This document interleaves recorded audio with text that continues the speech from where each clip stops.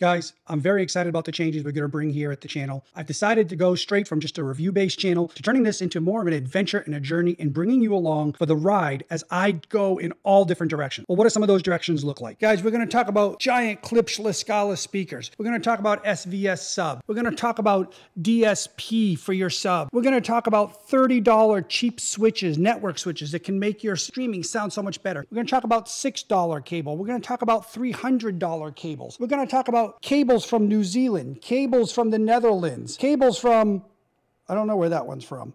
We're going to talk about expensive feet, cheap feet, tubes. We're going to be tube rolling. How did the NOS tubes, terrible cheap NOS tubes, compare with RCAs from the 60s, vintage RCAs, and other ones like Mullards? We're going to talk about $8,000 switches. And what do I discover and where do we go for journeys and shops and things like that to allow you to get better sound and have more fun? Come along for the ride, guys.